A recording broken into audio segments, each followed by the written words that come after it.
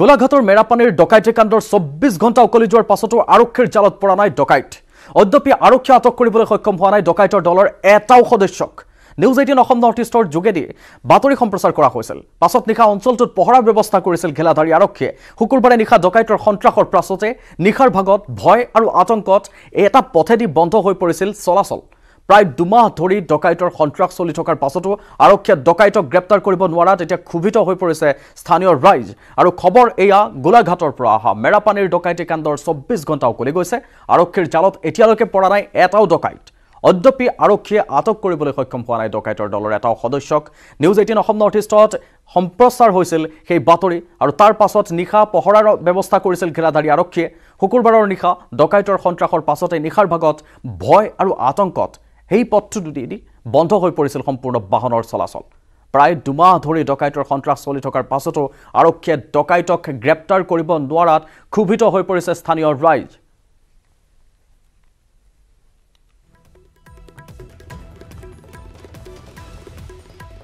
অনমোল যাদৱ আপোনাৰ সৈতে সংযুক্ত হৈছোঁ তিতাবৰৰ সাংবাদিকগৰাকীৰ সৈতে। গোলাঘাটৰ মেৰাপানীৰ যি ঘটনা চৌব্বিছ ঘণ্টা উকলি গ'ল। এতিয়ালৈকে জালত পৰা নাই এটাও ডকাইত। আপোনাৰ হাতত শেহতীয়া কি জানিম?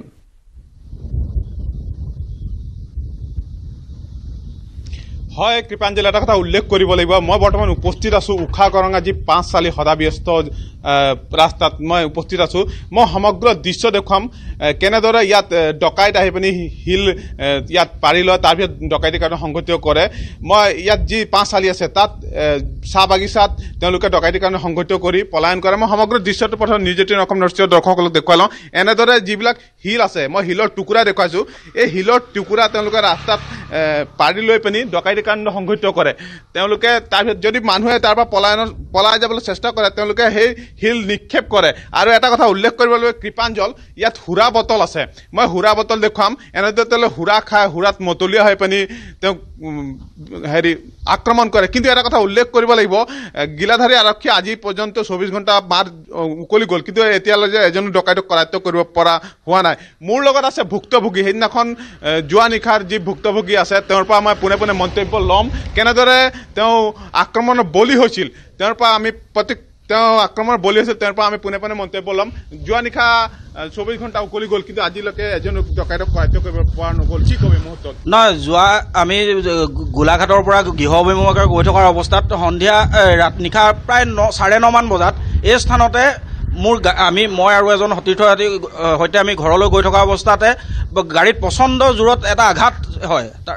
আমি যেতিয়া জানিব পাৰিলোঁ যে আমাক গাড়ীত শিল নিক্ষেপ কৰা হৈছে আৰু আমি এই পথটি অতিক্ৰম কৰাৰ সময়তে স্পীড ব্ৰেকাৰ সদৃশ তেনেধৰণে শিল তৈয়াৰ শিল ৰাস্তাত থৈ স্পীড ব্ৰেকাৰ তৈয়াৰ কৰিবলৈ চেষ্টা কৰা হৈছে যাতে গাড়ীসমূহ ইয়াত গতিবেগ নিয়ন্ত্ৰণ কৰি পেলাই নিক্ষেপ কৰে। আৰু লগে লগে কেৱল মাত্ৰ মই অকল আমিয়েই নহয় আমাৰ মোৰ আমাৰ পিছৰ পিছে পিছত জানিব পৰা মানে আপোনালোকৰ চেনেলৰ এগৰাকী মেৰাপানীৰ সাংবাদিক তেখেতৰ গাড়ীটো আক্ৰমণ কৰা হৈছে আৰু অন্যান্য আৰু তিনিখন গাড়ীত আক্ৰমণ কৰা হৈছে। আমি সকলো সেই সময়তে আমি গিলাধাৰী আৰক্ষী থানাত অৱগত কৰোঁ। লিখিতভাৱে যোৱাৰ পাঁচটা পাঁচটা আমি পাঁচখন গাড়ীত সকলো গৈ পেলাই গিলাধাৰী আৰক্ষীত লিখিতভাৱে অভিযোগ দাখিল কৰোঁ আৰু অভিযোগ দাখিল কৰাৰ ফলত আৰক্ষীয়ে পহৰা দিয়াৰ নিশ্চয় পলাশ ফুকন আমি ইতিমধ্যে অনমোল যাদৱ আমি প্ৰথমতে এটা বস্তু চাব বিচাৰিম চাৰিও দিশটো চাব বিচাৰিম। সেইখিনি ঠাইত অকল চাহপাতৰ বাগান দেখিছোঁ। অন্যান্য স্থান বা তাতে দোকান পোহাৰ বা ঘৰ দুৱাৰ একো দেখিবলৈ পোৱা নাই। আৰু ইতিমধ্যে ইয়াক ডকাইতি বুলি কোৱা হৈছে। সেয়া হয়তো কোনো স্থানীয় দুষ্কৃতিকাৰীও হ'ব পাৰে যিয়ে এই ধৰণৰ কাণ্ডবোৰ সংঘটিত কৰে। কাৰণ সুৰাপান কৰি তেওঁলোকে এই ধৰণৰ মাতলামি কৰা বুলি এক প্ৰকাৰ ক'ব পৰা যায়। আমি প্ৰথমতে দৃশ্য চাব বিচাৰিম। সেই ঠাইখিনিত কিমান নিৰ্জন বা কেনেধৰণৰ তাত কোনো ব্যৱস্থা কিয় হোৱা নাই যিহেতু সংঘটিত হৈ আছে দুমাহৰ পৰা এই ঘটনা মই সামগ্ৰিক হয় কৃপাঞ্জল দুমাহ ধৰি এনেদৰে সংঘটিত হৈ আছে। এইটো ডকাইত মানে যোৱা দুমাহ তিনি মাহৰ পৰা এনেদৰে তেওঁলোকে লুটপাট চলায়। ইয়াত হত্যা পৰ্যন্ত হৈছিলে। আজি এবছৰৰ মূৰত ইয়াত হত্যা হৈছিলে। এখন ট্ৰাকত লুটপাট চলাইছিলে তেওঁলোকে।